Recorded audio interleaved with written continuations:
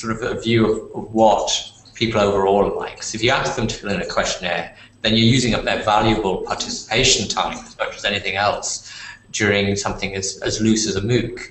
So do MOOCs give us a new challenge really for uh, evaluating